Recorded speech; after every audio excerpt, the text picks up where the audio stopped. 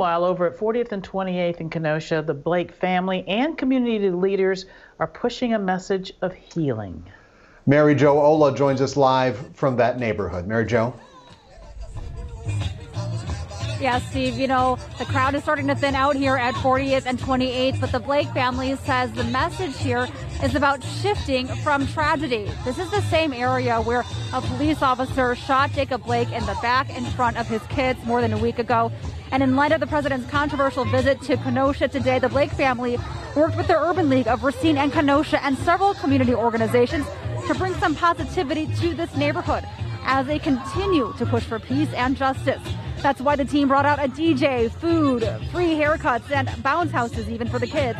That's why they offered voter registration and COVID testing.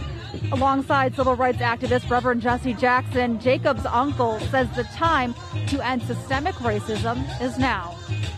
No longer going to tolerate this.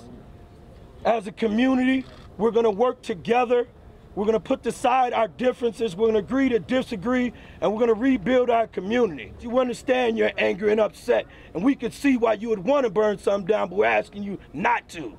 That fist that you put up in anger, we're asking to raise up high in unity and come on board with the Blakes. We're going to make some big changes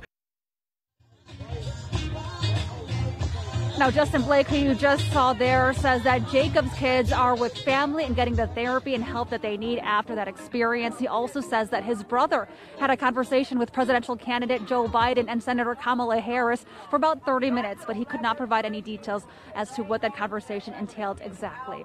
Reporting live in Kenosha, Mary Jo Ola, TMJ4 News.